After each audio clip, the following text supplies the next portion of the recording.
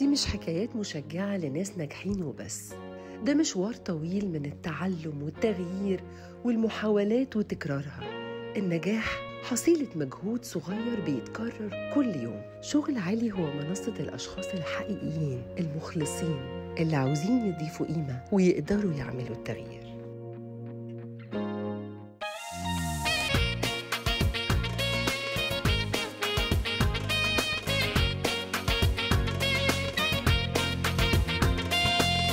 شغل عالي. شغل عالي.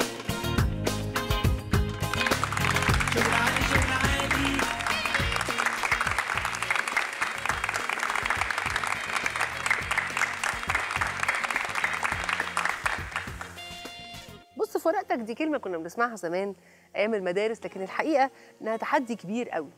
لما تشوف حواليك تيار كبير جدا ناس بتكسب فلوس بسرعة. اسمه الثراء السريع الممكن. إنك تثبت وما تتهزش لما تسمع أرقام غريبة. ناس بتكسب مكاسب مهولة من حاجات ما تقدرش حتى تسميها مهن ما تقدرش تقول عليها شغلانات جديدة. وده بقى اسمه أحيانا العادي الجديد لدرجة إنه بعض الناس بقت لما تشوف ضغط الناس اللي بتكسب حواليها بسرعة ومش بكلمك هنا عن مكسب واحد عمل فكرة عظيمة فكسب من وراها ملايين ولا عن حد اتعلم حاجة نادرة جدا فبقى مرتبه مضاعف مرتبي. لا بنتكلم عن الحاجات أو ضغط اللي اسمه غنوه ركيكه مثلا تكسب صاحبها ملايين وإحنا قاعدين نتفرج.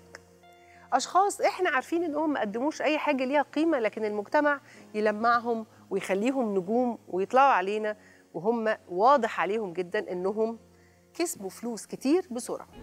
الثقافة المالية في الشغل دي حاجة مهمة جدا. وعايزة يعني لو تقدروا تشاركوني حد قبل كده رفض شغل لأنه لما حسبها كده لقى إن المرتب هيتصرف على المواصلات وعلى الأكل اللي هاكله في الشركة طول الشهر؟ حد عمل الحركة دي؟ أنا ساكن في حلوان وكان شغلي في مدينة السلام. آه بعيد قوي في آه، مصنع يعني من آه، المصانع الغذائية. فكان المرتب مش مجزي إن أنا أصلا بركب مواصلتين من حلوان عشان أوصل مدينة السلام. طيب عملت إيه بقى لما ما اشتغلتش؟ لا. آه مفيش دورت على شغل تاني وبحثت أكتر لحد ما لقيت الشغل المناسب ليا. يمكن كان المكان بعيد نسبيا. بس آه، أحسن بكتير من المكان اللي كنت أشتغل فيه في الأول. ساعات بنقول كده إن أنا بحسبها في دماغي فبقول إن أنا مش هشتغل الشغلانة اللي هصرف كل مرتبها على المواصلات وعلى المصاريف الشهرية. لكن في ناس تاني بتختار إنها توافق على القرار ده. مش غصب واقتدار ولا حاجة بس لأنهم بيبقوا شايفين المبدأ المعروف جدا إن أنا بشتغل. يا إما عشان آخد فلوس يا إما عشان آخد خبرة يا إما عشان أكسب علاقات يا إما عشان أبني خطوة في مستقبل طويل. فكرة البطل الخارق اللي بيقدر يعمل كل حاجة دي فكرة موجودة في الأفلام وبس. لكن الحقيقة مليانة ناس عاديين بس بيعملوا حاجات خارقة.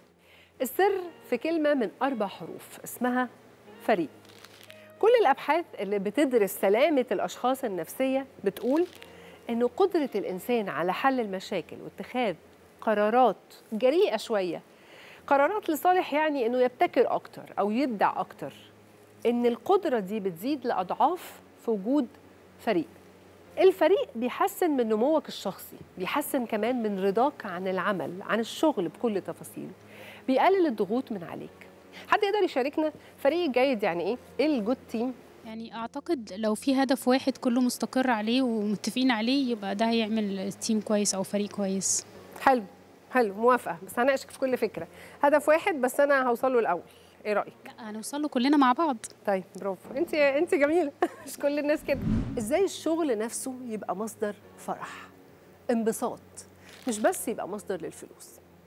وطبعا لأنه في ناس كتير تعز الكآبة زي عينيها فأنا خايفة أبص في عينين الناس وحد يقول لي يا عم ده أنتوا ناس مرفهين انبساط مين؟ إحنا بنشتغل عشان لقمة العيش. مش كده؟ في حد فكر كده؟ انبساط مين يعني؟ هقول لك النظرية عشان نعرف نتقابل في نقطة. أنا شخصيا أعز جدا اللي بيحترم لقمة العيش لكن أعز أكتر اللي يحبها بكرامة. وهنا أعتقد إننا ممكن نتقابل في نقطة.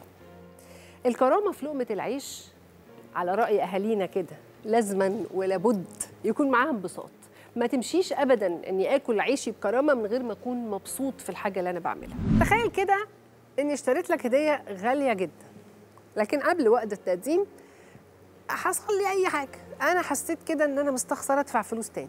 خلاص وقفت معايا على ثمن العلبة. فقررت إن أنا ألف الهدية دي في ورق جرايد أو في أي كيسة سمراء زي ما إحنا بنسميها.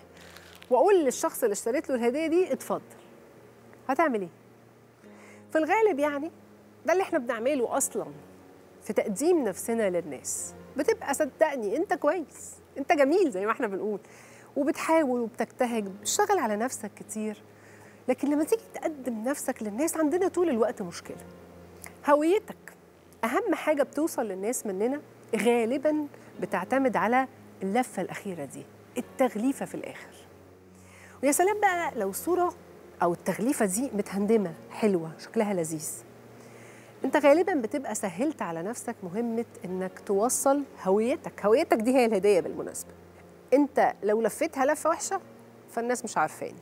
لو لفيتها لفة حلوة الناس هتعرفني على الأقل عشر مرات أسرع من إن أنا ما اهتمتش بالحتة دي. وإحنا بنتكلم عن حالة كده بتصيب الناس اللي بتسافر في بعض البلاد وتحديدا وإحنا بنتكلم عن متلازمة باريس. وبالمناسبة ممكن يكون غريب شوية إني أقول لك إنها حالة من الأعراض الحادة جدا للاكتئاب والضيق بس دور ورايا هتتأكد كده إنها مش بس حالة دي مرض شائع كمان. ناتج عن إنه الناس اتسوقت لها صورة عظيمة جدا عن مكان ولما وصلوا المكان ده أحبطوا بسبب الواقع اللي شافوه. دكتور مجدي يعقوب هيجي في بالنا إيه؟ علامة تجارية صح؟ إيه؟ القلب الطب صح؟ دكتور أحمد زويل محمد صلاح كورة صح؟ ففي حاجة اسمها علامة تجارية وفي بني أدمين لوحدهم هم علامة شخصية. يعني باختصار كل واحد فينا ماشي وفوق دماغه في يافطة بس مستخبية. محدش يعرفها عنها حاجة. أنا مش شايفها لكن كل الناس اللي قدامي شايفينها. اليافطة دي مكتوب عليها شوية عناوين رئيسية. أولها أنت مين؟ وتانيها أنت بتقدم إيه؟ وتالتها بتقدمه ده حلو ولا لأ؟ كل التفاصيل دي مكتوبة عني من غير ما أعرف. إحنا دايما في البرنامج هنا بنقول إننا بنقضي تلت حياتنا في الشغل. ونص نجاح الشغل. في جملة أو كلمة اسمها التواصل. أعتقد إن كتير مننا مش بس يقدر يتخيل لكن كمان يقدر يفتكر كم المشاكل اللي موجودة في سوق العمل واللي سببها أصلا مشاكل في التواصل. من أول يوم الانترفيو بتاع سيادتك لحد ما تمشي بالسلامة من شغلك أنت محاط بكل الفرص إنك تتواصل أفضل وتحقق نتائج أفضل أو إنك تتواصل أقل أو غلط فتحقق نتائج ضعيفة. لفت نظري جدا إن في نوع جديد من التنمر على المرأة موجود في أكتر مجتمعات ممكن تكون بتعتقد يعني إنها بتقول على نفسها متصالحة متصالحة مع مصطلح التمكين. التمكين يعني بالمناسبة إن كل واحد فينا يمكن إنه يعمل الحاجات اللي هو نفسه يعملها أي حاجة بقى أيا كانت اختياراته يعني. ببساطة كده زي ما عينك قادرة تشوف آه، التمن اللي بتدفعه كل ست بتشتغل من صحتها ومن أعصابها عشان تقدر تعمل أدوار كاملة في كل مكان هي مسؤولة عنه أو مسؤولة فيه. اوعى كمان تفتكر إننا كمجتمع متصالحين تماما مع فكرة عمل المرأة. لا الحقيقة إنه لسه بدري جدا. مهما شفت حواليك من نماذج ناجحة وأحيانا مبهرة للمرأة العاملة لأنه المرأة العاملة دي نص نجاحها تحدي للظروف. لكن المجتمع يعني لا لسه المجتمع بيعافر في إنه يقبل الست اللي بتشتغل. وأولها ودي حاجة بقى كانت مفاجأة من شهادات ناس كتير إنه ساعات بتبقى من الست اللي زيها كمان قبل ما يكون من الراجل اللي بيقاوم نجاحها وقدراتها. لبعض الرجالة القدرات دي بالنسبة لهم خارقة فبالتالي مش مقبولة. هنا بقى هنيجي لأصل السؤال. لو سألت أي ست ناجحة وبتشتغل أنت عاوزة الناس تشوفك إزاي؟ وده سؤال بالمناسبة لازم نسأله هنا. في هنا كام بنت بتشتغل؟ يعني بشتغل بعمل دوري زي ما غيري بيعمل دوره. آه. راجل أو ست. عايزة تشوفي الناس تشوفك إن دورك طبيعي. دوري طبيعي. وجودك طبيعي. مش إن أنا واخدة مكان حد أو حد آه. واخد مكاني. بتحسي حد بيبقى بيفكر كده ساعات؟ كتير.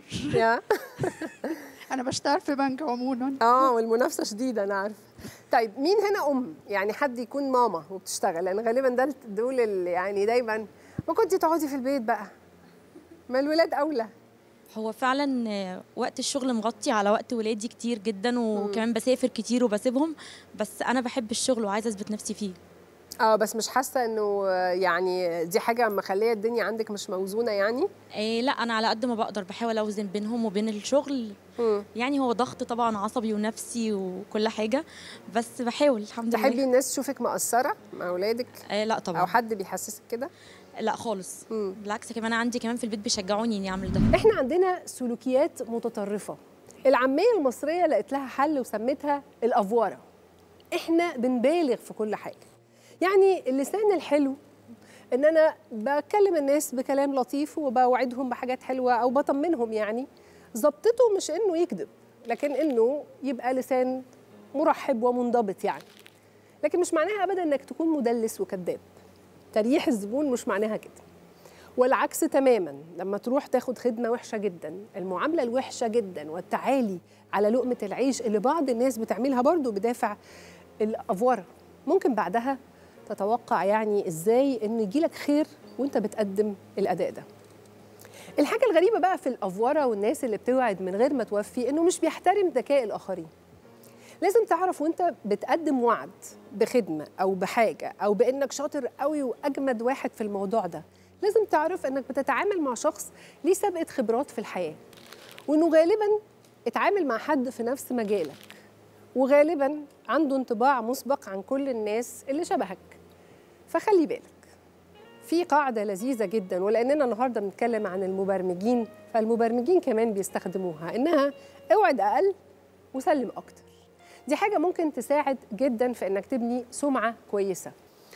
وادي أكتر لأنك لما بتدي أنت مش بس كسبت في الشغل أنت كسبت في العلاقات والعلاقات طول الوقت أهم بكتير من الشغل.